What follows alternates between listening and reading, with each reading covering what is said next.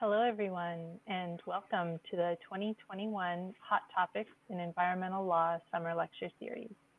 I'm Emily Spiegel, Assistant Professor of Law with the Center for Agriculture and Food Systems here at Vermont Law School. And we are pleased to welcome all our viewers to our online presentation today.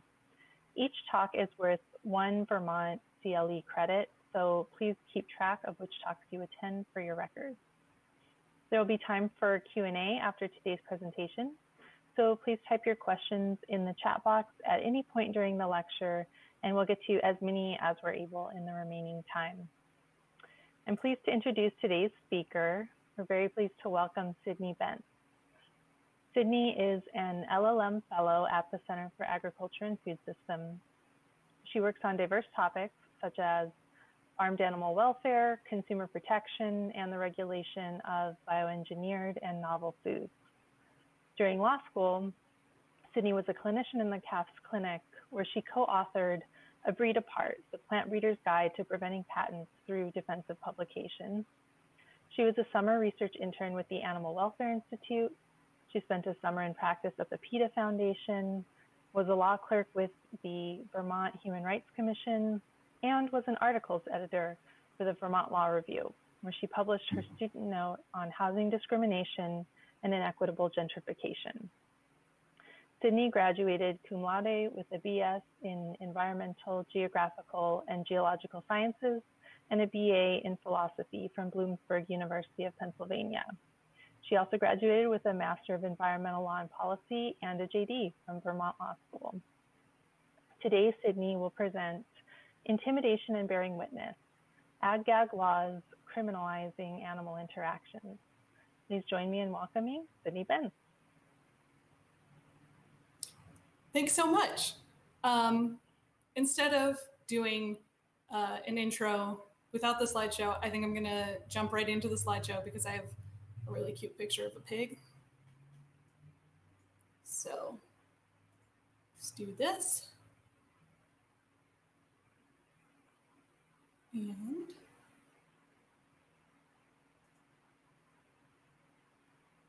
are we good to go?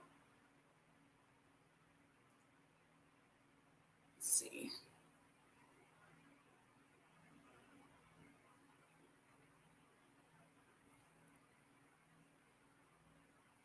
Well, let's just do it like this then.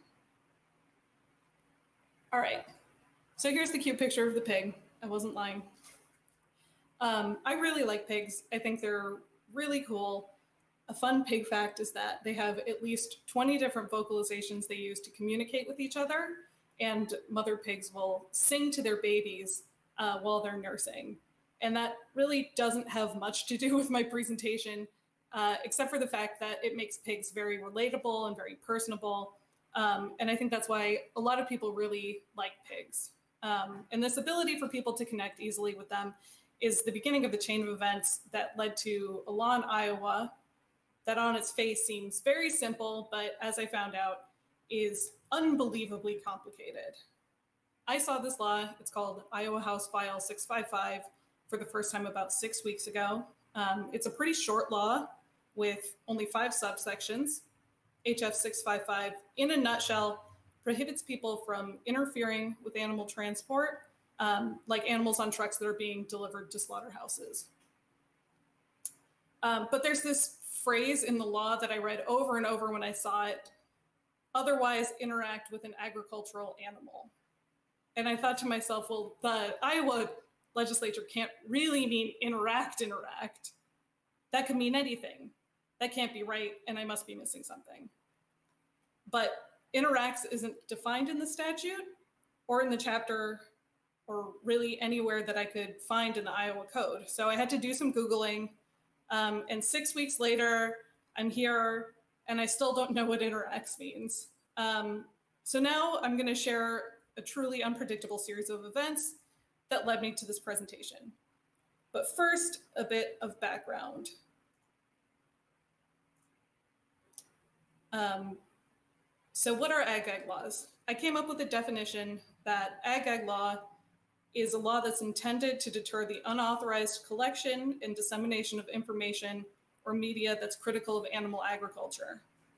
The laws frequently focus on undercover journalists or activists who use false pretenses like fake names and job applications to get jobs in slaughterhouses or in industrial animal operations, which frequently involves uh, using covert video, recording, and photography. And so this map is from June 2020. And as you can see, the courts have gone both ways on whether or not it's unconstitutional or constitutional, pretty even split. The only update to this map is that the Iowa law, where it's shaded in here, has been ruled unconstitutional. Iowa has a, a long history with introducing ag-gag laws because Iowa is a massive hog production state. Um, this timeline is just the last two years, but Iowa's first ag-gag legislation was actually in 2012. But as you can see in the last two years, a lot has happened in trying to pass either a new ag gag law um, or the courts have found it unconstitutional. And these don't happen in a vacuum. These laws don't happen in a vacuum. They are responses to specific events. Um, so while I apologize, there's a lot of information on this slide, uh, but I think it's more helpful to drill down into this so you can see what I mean. So here's one example. Um, in the 10 days between May 19th, 2020 and May 29th, a hidden camera captures disturbing footage inside a barn of one of Iowa's largest hog producers. Uh, Matt Johnson, an activist with a group called Direct Action Everywhere, was arrested for placing a hidden camera, but the footage is already out there. The Intercept and an animal rights group, Direct Action Everywhere, released the footage, and 10 months later, a law is introduced that prohibits placing a secret camera while trespassing. 10 months might seem like a long time, but the recording was uh, released two weeks before the end of the 2020 legislative session, and that didn't resume until the following January. I think a more direct example is the launch of Project Counterglow. Project Counterglow is a map of animal agricultural operations that was made using publicly available satellite imagery and crowdsourced information. So this launched on May 31st, and five days later, a bill to increase penalties for trespassing on agricultural land is introduced by Senator Ken Rozenboom. Uh, Senator Ken Rozenboom is notable because he is also the co-owner of a swine CAFO in Iowa that was four months before this introduction, um, the target of an undercover investigation. And in introducing this bill, Ken, uh, Ken Rozenboom specifically addresses Project Counterglow in his introduction to the bill. So here's what the map for Project Counterglow looks like. And this map is huge. Um, this is huge because even the EPA up until now didn't know exactly how many CAFOs were in the US, much less what kinds they were, what animals were in them. And even if they did, a lot of that information is not accessible by the public. And so this is an open source map that's free and accessible to the public that gives uh, individuals GPS locations of not just CAFOs, but all kinds of animal agricultural operations. And for Iowa especially, this map shows how important animal agriculture is in Iowa. There are so many operations, you can almost trace the boundary of Iowa based just on icon overlap.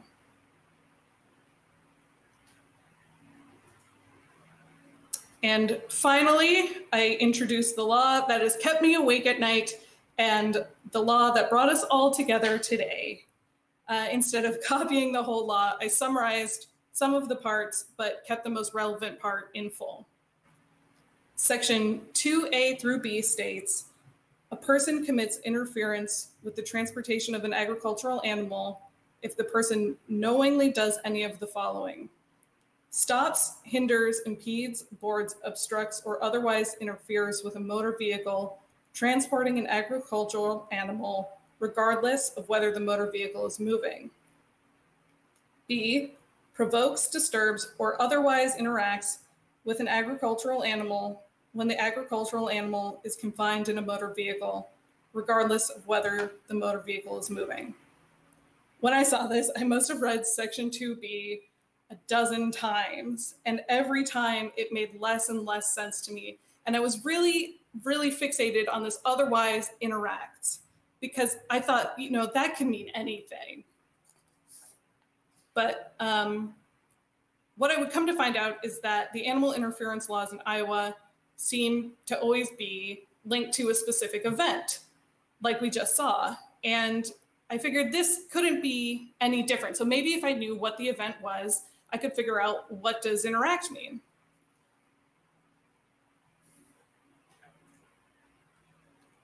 On May 31st, three protesters from Direct Action Everywhere chained themselves to the gate of Iowa Select. They were protesting Iowa Select's use of ventilation shutdown.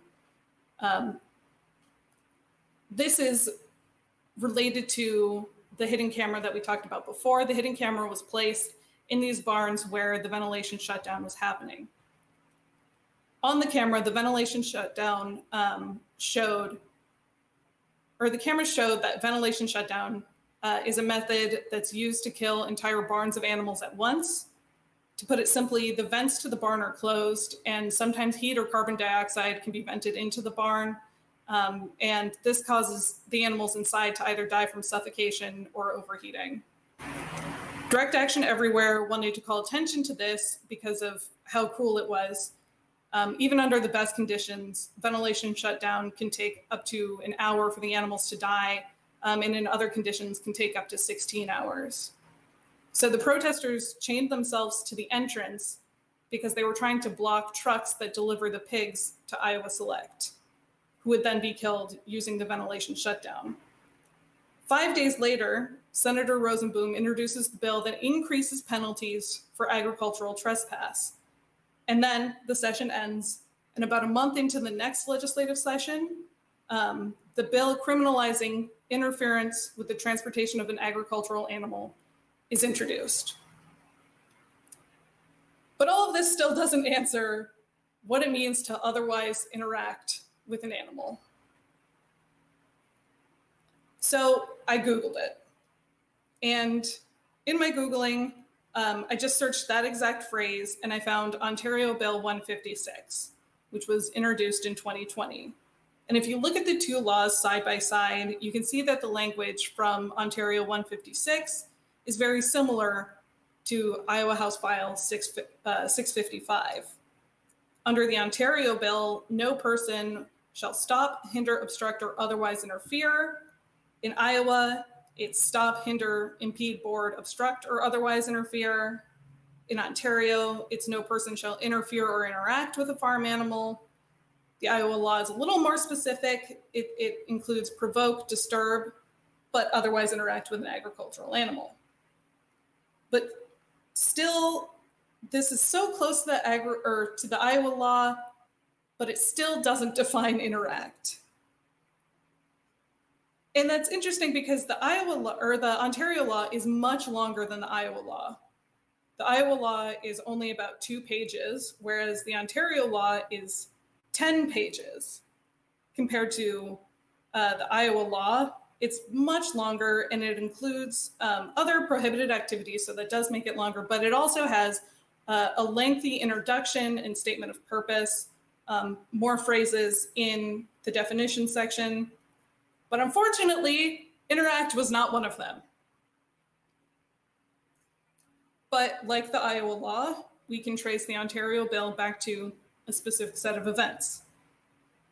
The Ontario bill uh, can kind of be traced back to June 22nd, 2015. On that day, an activist named Anita Krajnc is arrested for criminal mischief in Burlington, Ontario, which is just outside of Toronto. She was giving water to pigs in a transport truck. Anita is the founder of an activist group, an animal activist group called the Animal Save Movement.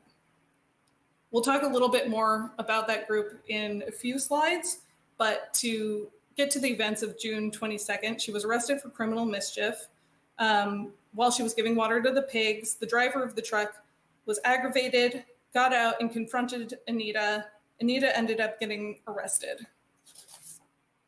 At her trial on May 4th, the court dismissed the criminal mischief charges because the court found that giving water to pigs wasn't a harm, and the state had failed to prove that um, under the criminal mischief that any harm had occurred that was a, a necessary component. So Anita was free to go. And then we see Ontario Bill 156 introduced, and that doesn't require that the state prove harm, merely interaction. Bill 156 also includes a provision that releases a transporter from civil liability if the transporter injures someone who's interfering or interacting, unless the transporter is acting um, with deliberate intent to harm or reckless disregard. The next day, um, the day after the Ontario bill comes into effect, a pig transporter hits and kills Regan Russell, who's an animal activist that was attending a vigil for pigs at a slaughterhouse. Um, the driver wasn't charged with a criminal offense, and there's a lot of dispute over whether or not the driver was acting recklessly.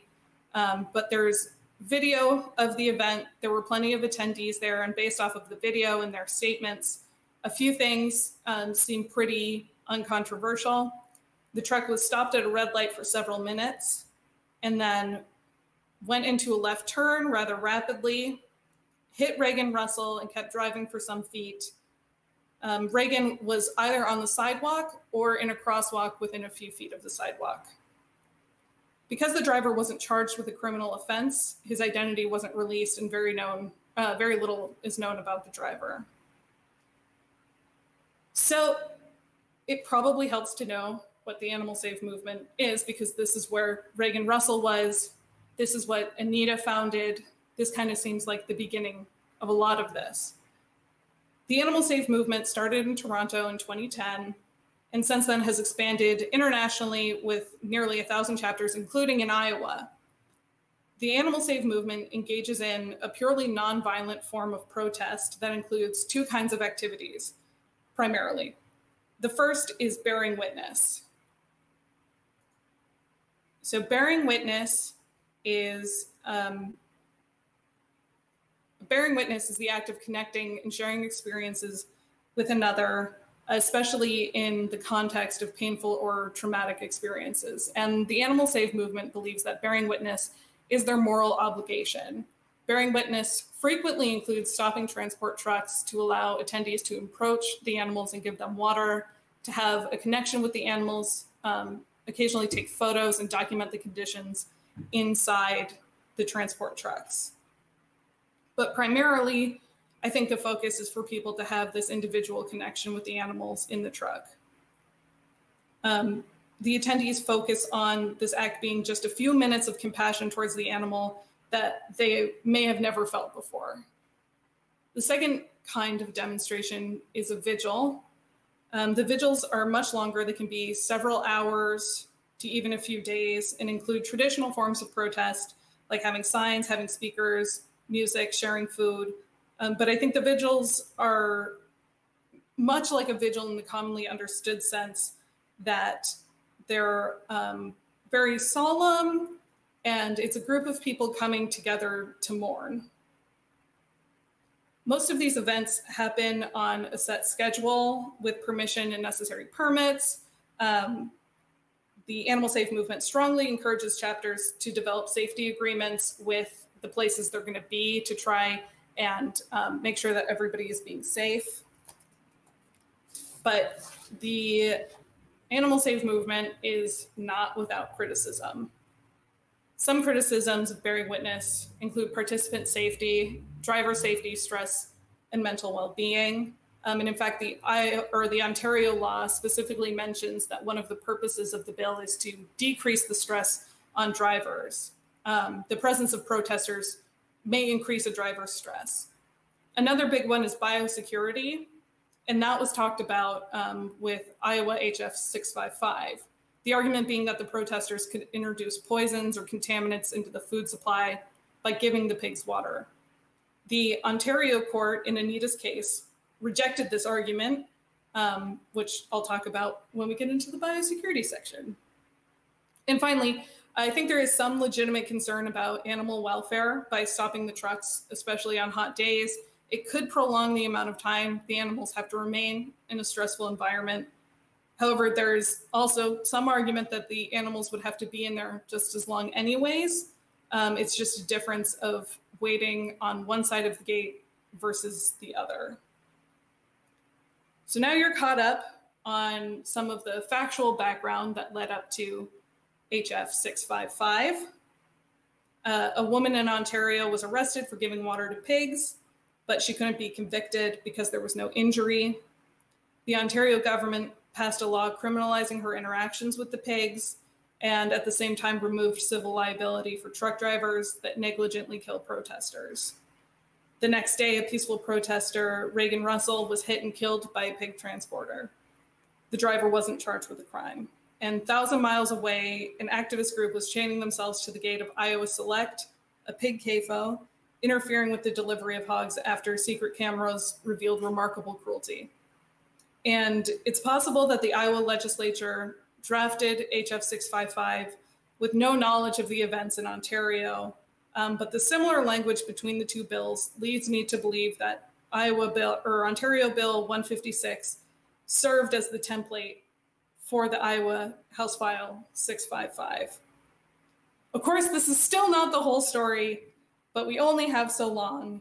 And so I want to come back to otherwise interact now with more context, but still no answers. But what do we do about it? I, I find a lot of these events to be very unsettling, but the bill has passed. How do we address it? And I believe that depending on how otherwise interact is interpretive, um, Iowa HF 655 may be a violation of the First Amendment. The First Amendment of the Constitution states that Congress shall make no law abridging the freedom of speech. Protest is a protected form of speech. Um, so I think it's at least looking at whether it's at least worth looking at whether the Animal Save Movement demonstrators are protected by the First Amendment. Um, but that being said, the First Amendment doesn't protect all speech. If you own property and there are protesters on your property, you can tell them to leave. It doesn't um, include trespassing as a, a, form of speech necessarily.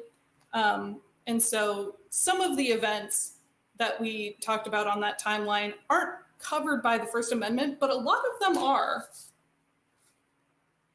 One of the most critical parts of the First Amendment analysis is whether the law regulates speech based off of content or if it's a neutral regulation of the time, place, and manner in which the speech can take. A law that regulates speech based on content is much more likely to be unconstitutional than a content neutral law. Um, and I'll just say flat out, I, I think there's arguments on either side of whether or not this is based on content or if it's content neutral. Some ideas that come to mind to make me think that it's content based um, would be looking at the events in Ontario and how it was a response to someone giving water to pigs, um, the protests that were happening there. But also, if you think about maybe a hypothetical scenario where a truck is stopped at a red light and you see someone coming up to the door and talking with the driver, maybe the driver um, puts on his hazard lights. If you're if you're a police officer and you're watching this and you're trying to decide whether or not this is a violation of HF 655, if, if this person is interfering with the transport, um, you probably have to know what that person is saying. And so the content can be important. But at the same time, I think there's counter arguments. And so if we look at it as content neutral, I still don't think it passes constitutional muster.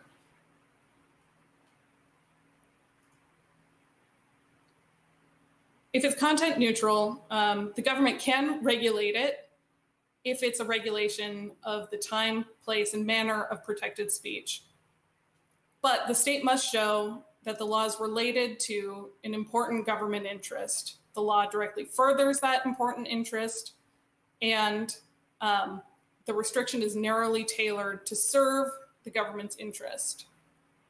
In short, there has to be an actual harm that the law directly addresses. And so, in reading more about this and looking into this, I looked at some of the stated purposes and interests, and I have to say, I, I didn't totally buy it. So let's go through some of the interests. The biggest one was biosecurity. Iowa Senator, I'm going to struggle, Bisignano on April 6th, um, and this is when an act was introduced into the Iowa Senate that prohibited the placement of the covert cameras, as well as taking unauthorized samples from water or air um, on an agricultural operation. So the senator said the bioterrorism is a different story because it's one we ought to take a lot more seriously. So I've been in the chamber a long time and we've never had that discussion. We've never had that discussion here. So it's clearly on the mind of the legislature. They see it as something they have to do, but maybe haven't totally addressed before. But Iowa's previous agricultural trespass law, the Ag-gag law that was overruled uh, as being unconstitutional, the court recommended amending Iowa Code 71784, which addresses biosecurity. Um, that law pretty much says, you know, you can't you can't put poison into the food system. You can't put poison on crops, um, things like that. And in that case, the government failed to show that biosecurity was a compelling interest um, because they didn't show how the trespassing or prohibiting the trespassing actually did anything to further that. So even though the court recommended that if you want, if biosecurity is a compelling interest, you should look at the biosecurity law, maybe amend that law. Um, since 2004, when it was introduced, it doesn't appear to have ever been used or have been um, amended. So if we look at the biosecurity risks that are clearly an interest, some things become apparent. Um, I got these quotes from uh, a report from Ohio State University that includes uh, several veterinarians that put it together. Um, and they work in the dairy department and department of preventative medicine at Ohio State University. So they classified different biosecurity risks. The lowest risk to on farm biosecurity was that visitors from urban areas or people who have very little livestock content present very little risk of introducing the disease to the farm. Medium risk, people who routinely visit farms but have little to no contact with animals, um, such as salesmen and fuel delivery personnel. But the highest risk are transport vehicles. High risk visitors to the farm include inseminators, processing crews, veterinarians, livestock haulers, and livestock owning neighbors. Entry of exposed or carrier animals contaminated feedstuffs, and contaminated equipment represent the greatest threats for disease entry.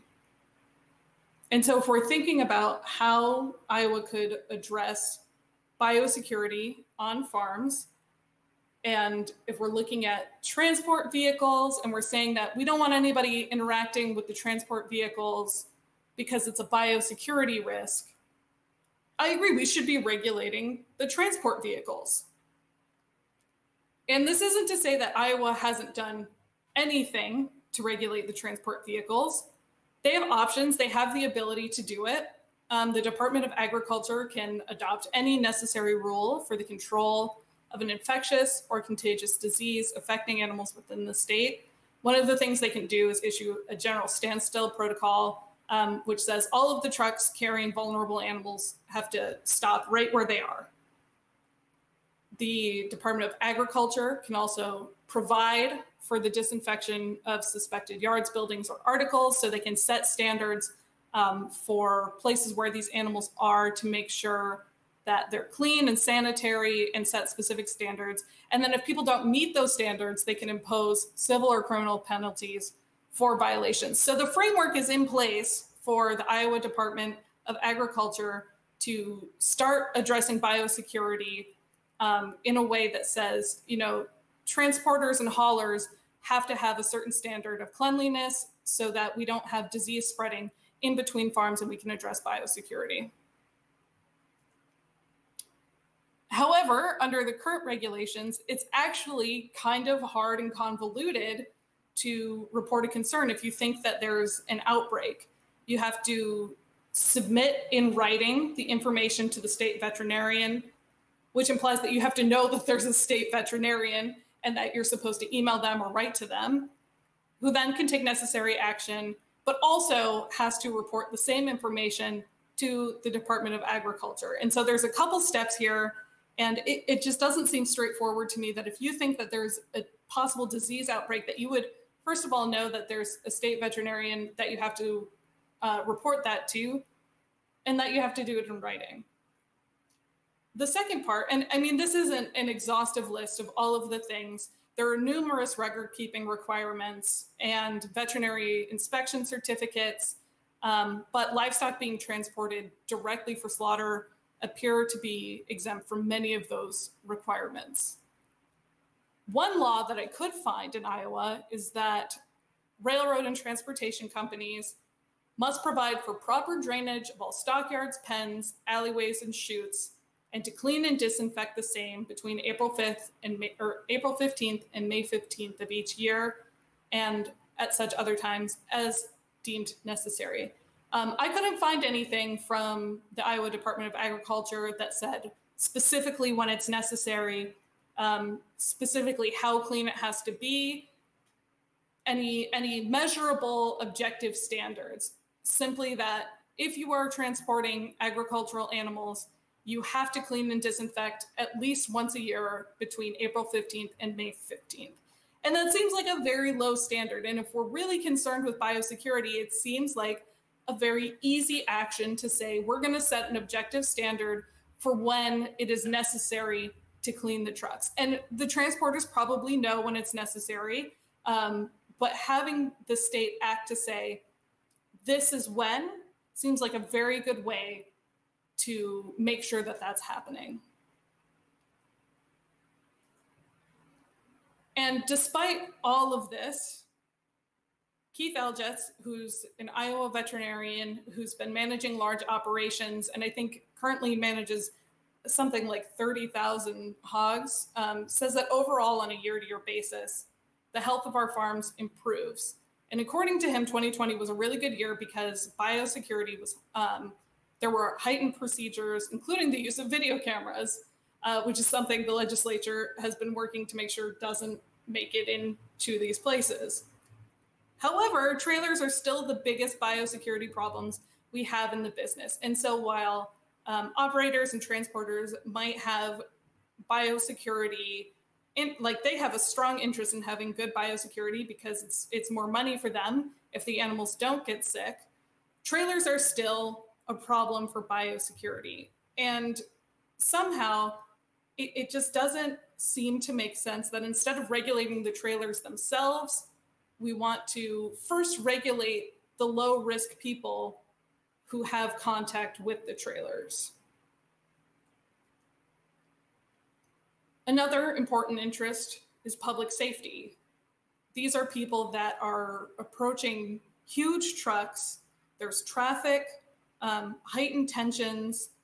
There's always going to be um, a safety risk with pedestrians. And, and, you know, if the truck is stopped at a red light for several cycles, you have traffic congestion and all of the risks that come with that. But in looking at the Iowa laws, and even calling around to different Iowa agencies, I couldn't find any specific law or regulation that prohibited pedestrians from obstructing traffic. There were laws that said you can't use your car to obstruct traffic, you can't place something in the road that obstructs traffic. But I couldn't find anything that specifically applied to a pedestrian using their body to obstruct traffic. Until recently, though, um, there was a bill introduced that would prohibit that, prohibit pedestrians from obstructing traffic. But in the same bill, it removes liability for motorists that hit, injure, or kill protesting pedestrians. Regan Russell, uh, an animal activist, was hit and killed by a truck driver the day after the similar Ontario bill came into effect. And it's really hard to even Google Ontario 156 and not see her story, see her name, and see her face. And so it's troubling that the Iowa legislature or you know whoever wrote this could have seen this and then still decided that even though a day afterwards there was this violent event that this still could be um, furthering a public safety concern. And iowa has a, a similar history. Michael ray stepaniak sped into a crowd of protesters that year to quote give them an attitude adjustment. And i think it's worth noting that these weren't animal protesters. This was part of the black lives matter movement um, but it, it does show that there are people in iowa who consider it okay to run over protesters um, in 2020 there were at least 104 incidents of protesters being hit by cars compared to eight incidents for the same time period for the rest of the world of those incidents incidences researchers concluded that 44% showed clear malicious intent, and that 37% were possibly malicious. Um, but even so, the incidences of protesters being hit by cars has risen since 2019.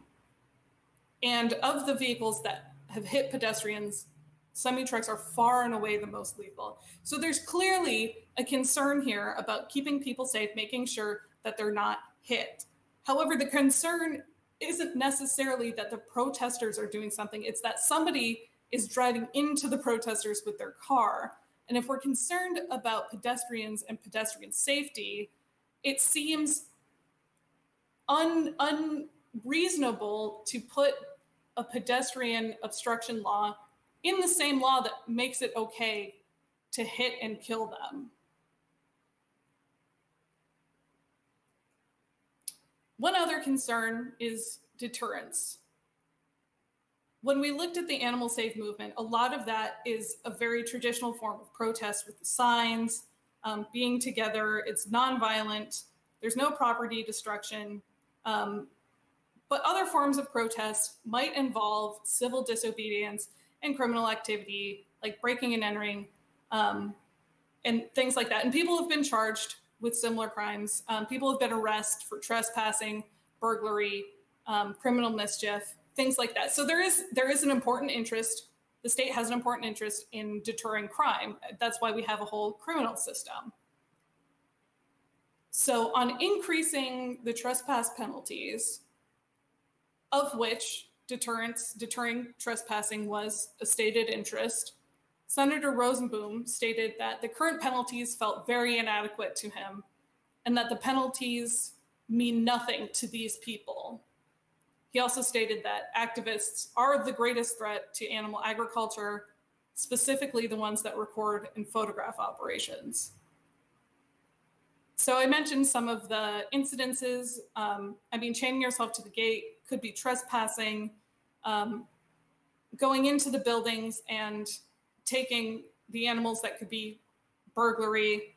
Um, so I can see the important interest there. However, while they're being arrested, they're not actually being prosecuted very often. Usually, at the request of the facility owners, many of the charges are dropped and never prosecuted.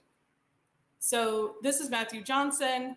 Um, he has been involved in a lot of direct action work in Iowa. And despite being called a leading foe of the livestock industry, the charges were dropped against him for placing that secret camera in Iowa Select. And then other charges were dropped against him later um, when blocking the entrance to Iowa Select. And I spent a long time looking at protests, looking where there might be criminal activity, and digging through Iowa criminal uh, records because those are open records and I couldn't find really any prosecutions that happened recently. And it's totally possible that those records are not open and are not available to me and they are happening. But for somebody that's been called a leading foe of the livestock industry, if you really want to deter this kind of activity, it seems like you should prosecute them. And of course, there's prosecutorial discretion, but it just makes me wonder how important is it? And it, according to the people who've been arrested, they aren't being prosecuted because that opens up the operations to the lack of privacy that comes with a court case. They can they can depose witnesses, which include workers. They have more access to information, more access to files, and all of that potentially becomes public information. And so, even if these operations aren't doing anything illegal and everything is totally legal, totally above board, they might not want the public to see what's going on inside because it, it risks having a bad media image, um, people taking the footage and misconstruing it, things like that. And in these two cases, at least, the stated reason why the charges were dropped is because the workers didn't want to testify. So there are already several laws that address more narrowly the same activity that House File 655 purports to address. Like the reason that HF 655 needs to exist is for public safety, for biosecurity, and to deter crime.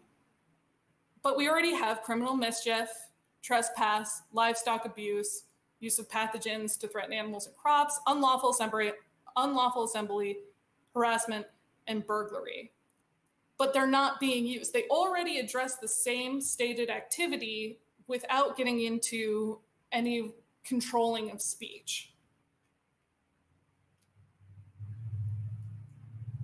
But we still don't know what interact means.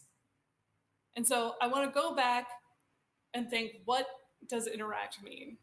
The thing that Iowa has made illegal I was able to find exactly one case that uses the phrase otherwise interact that's relevant.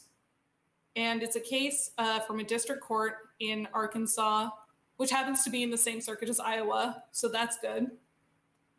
Um, the city in Arkansas adopted an anti panhandling ordinance that said no person shall interact physically with an occupant of a motor vehicle that's in operation on a public roadway or street for any purpose.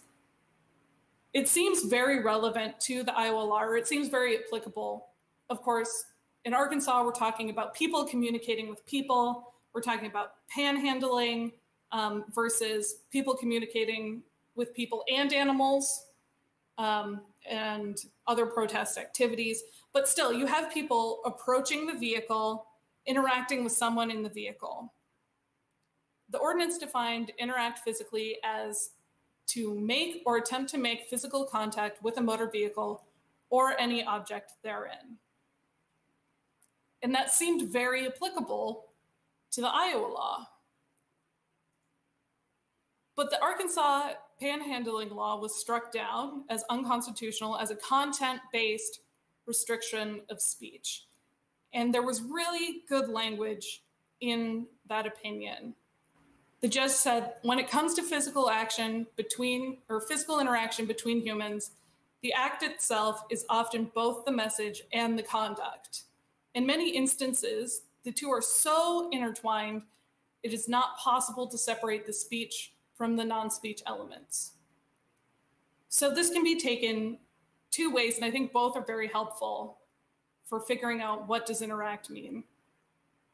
And for holding this Iowa law unconstitutional. The first being you have to communicate with the driver of the truck. If you're at an Animal Save protest um, or at any kind of protest that involves an, um, something around animal transport, you have to interact with the driver. You have to ask them to stop.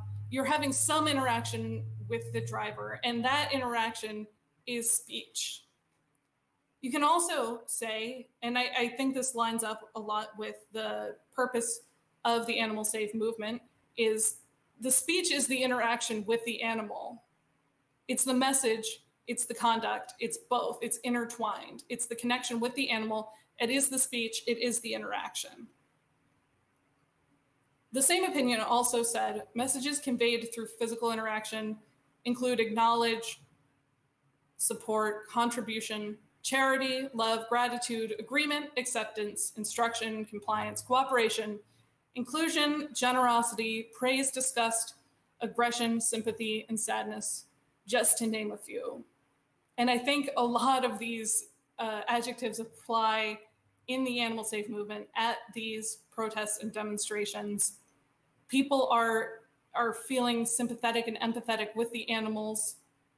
They are feeling disgust and anger that they are being treated the way that they are. There's charity and love and gratitude. And I think a lot about the purpose of, of interacting with these animals as being just a few minutes where the animals can feel compassion and love and empathy when they may not have had any interaction with humans similar to that. And so,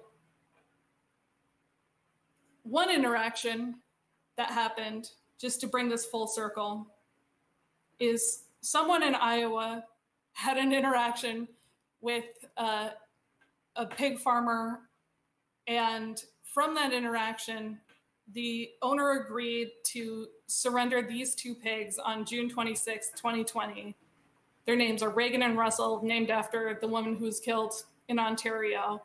And they were surrendered to Arthur, Arthur Acres Animal Sanctuary. And so I think there's a lot of value in the interactions we have with animals. And it's something that we should continue to protect and fight to protect. And to simply say that it's it's criminal to interact with an animal and try to use biosecurity or public safety as a reason why that should be unallowed, I, I don't I don't buy it. Um, and I'm sure Regan and Russell here would agree. And that's the end of my presentation, and I'd be happy to take some questions.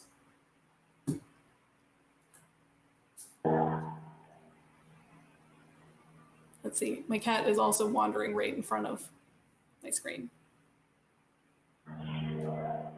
Thank you, Cydnee. This is Marty's Thank you so much for that. Speaking of animal interactions, um, Yeah. we do have a few questions in, and just as a reminder for the audience, if you're watching on our website live stream, you can click on the watch on live stream icon at the bottom of the video, and that'll bring up a chat box where you can enter your questions. Um, if you're watching on our Facebook live stream, you can add your question directly to the comment box below. So we'll try to get through as many as we can. Um, one of the first ones that I saw come in was whether other states have come up with more reasonable state interests to legitimize these types of laws. I mean, I haven't looked at every ag gag law in every state, um, but the most common, the most common reasons that are stated, biosecurity is always at the top of the list.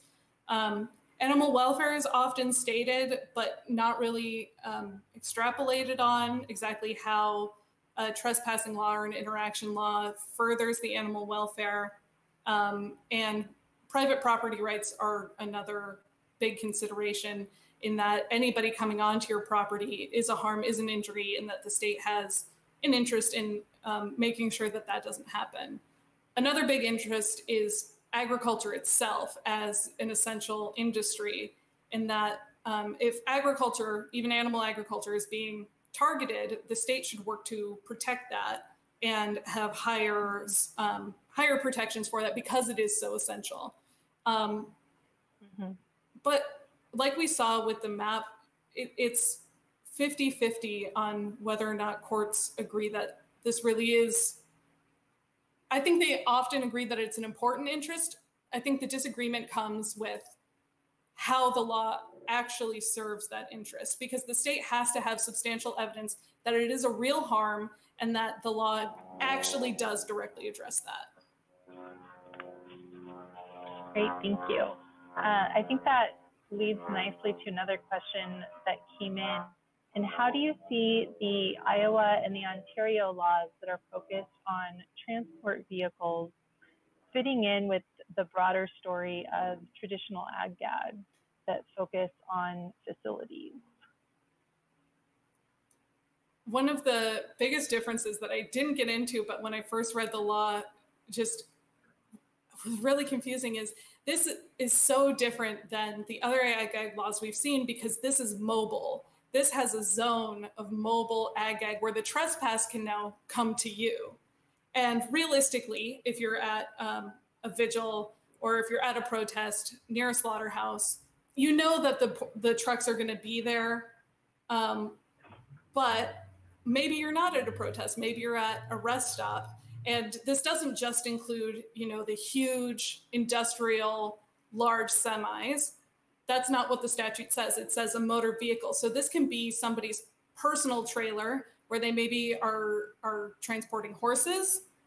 They're stopped at a rest stop. The interaction between you and those horses would be criminalized and you didn't even intend to see them there and now the illegal um, the object of the illegality the trespass is mobile and can come to you whereas before it's been stationary you have to enter onto the property and i think that's one of the biggest differences Great, thank you. Another question we came in uh, looks like it refers to the cases where charges were dropped um, and asks, how can the law support workers in testifying? Um, it's difficult.